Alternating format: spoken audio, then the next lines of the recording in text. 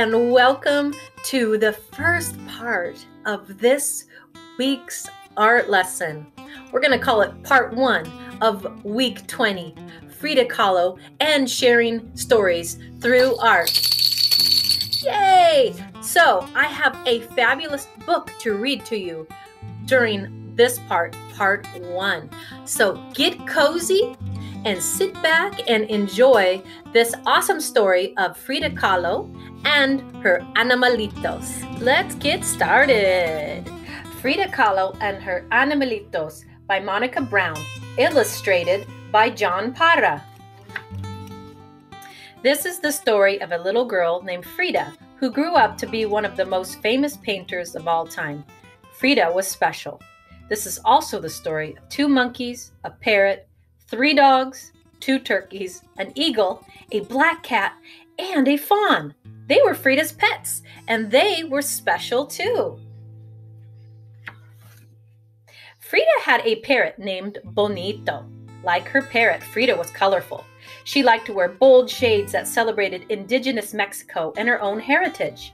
She lived in a house the color of a parrot's bright blue feather, La Casa Azul, where she grew up with her mom, dad, and sisters. Frida had a pet fawn named Granizo. Like her fawn, Frida had watchful, beautiful eyes. When Frida closed her eyes, she remembered life as a little girl. Frida was always with her father, a photographer who taught her to look at the world through curious eyes. Frida and her father would walk to the park to collect bugs to look at under a microscope. Frida's father also taught her how to paint finishing touches on his photographs. Frida loved the small brushes and the beautiful colors. Frida had a cat with black shiny fur, the same color as her long dark hair. Like a cat, Frida was playful, but as a child, Frida couldn't always play. When Frida was six, she got very sick. She was in bed for a long time, but little Frida didn't get sad or bored. Instead, she used her breath to make mist on her window, and then she drew a door with her finger. Frida used her big imagination and curious eyes to walk out the door with a magical friend, a little girl who danced and played like a kitten. Frida was independent, like a cat. Frida's sickness left one of her legs different from the other. And children made fun of her, but this didn't stop Frida from skating and riding bikes and rowing on the lakes of Chapultepec Park so that her leg could get stronger. Frida was not afraid to do things other little girls didn't usually do. She wore overalls and boxed and wrestled.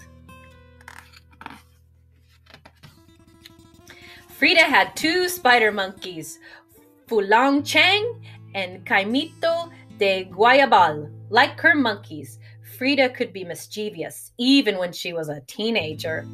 When Frida was 15, she went to a school called the Preparatoria and found a group of friends she loved. Like Frida, her friends were curious to learn all they could. Together, they read and studied and argued and sometimes got in trouble.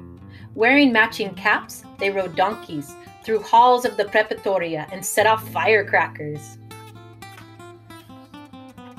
Frida had an eagle named Gertrudis. Like her eagle, Frida's imagination could fly high. When Frida was 18, she was in a terrible accident, and once again she had to be in bed for many months. This time, Frida didn't create a magic friend, she created art. Frida's mother made her a special easel and hung a mirror over her canopy bed so Frida could paint. Frida used her imagination and curious eyes to do just that. Feet, what do I need you for when I have wings to fly?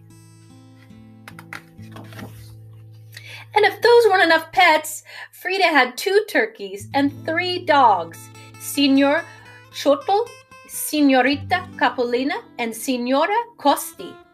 Frida's turkeys were intelligent and sensitive, just like herself, and like Frida, her dogs were warm and loving. When she was lonely or sad, she would wrap her arms around them and they would comfort her. Her Xolo dogs were the same breed that ran and hunted with the Aztecs thousands of years ago and a reflection of Frida's heritage, of which she was very proud. Frida's dogs had no hair, but their bodies were warm, and Frida gave them great big hugs whenever she felt lonely or sad. Frida's animalitos were spirited and entertaining, just like Frida. When her two spider monkeys were being good, Frida would hold them like babies. When they were being mischievous, they would steal socks and fruit and leap through windows so no one could catch them. Her parrot named Bonito liked to snuggle under the covers, while Frida took naps and would do tricks at the dinner table for pats of butter. Frida's animalitos played all day long in the courtyard at La Casa Azul, the bright blue house on Londres Street. Her husband, Diego Rivera, even made the animals a pyramid to climb on so that her pets could roam freely.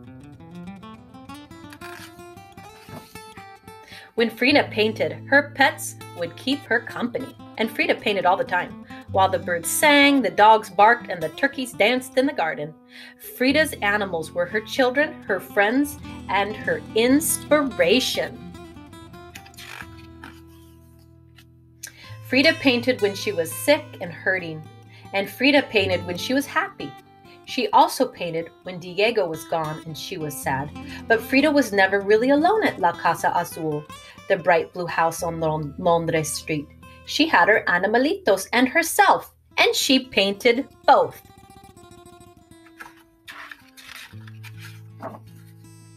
Frida painted herself with Fulang Chang playing with ribbons. She painted herself with Bonito the parrot and Senor Shoto the dog. She painted her black cat too, peeking over her shoulder.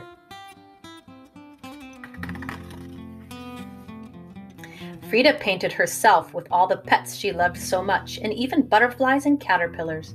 Her paintings were magic. And today, if you visit La Casa Azul in Coyoacan, just outside of Mexico City, you might hear the sound of a bird or see a black cat jump from the pyramid that sits in the courtyard of the bright blue house on Londres Street, where Frida and her animalitos lived so many years ago.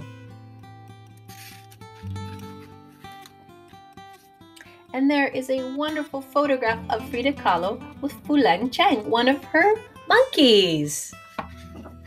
All right, boys and girls, I hope you can join me for part two of this week's art lesson. We are going to create a wonderful little piece of art inspired by this book, Frida Kahlo and her Animalitos. See you soon.